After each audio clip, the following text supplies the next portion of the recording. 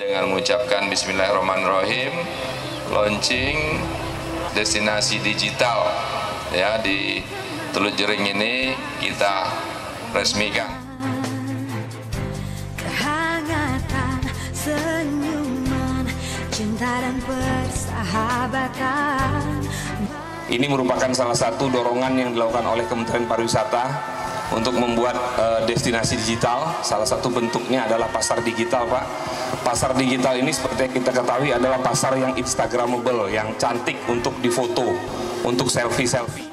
Dengan digital ini eh, semakin terbuka masyarakat untuk tahu lebih banyak. Ya, artinya eh, terutama eh, anak-anak muda yang melihat spot-spot yang bagus ini, kemudian dia upload ke Facebook atau ke Instagram sehingga dapat dikenal oleh masyarakat di luar Jiring maupun di luar.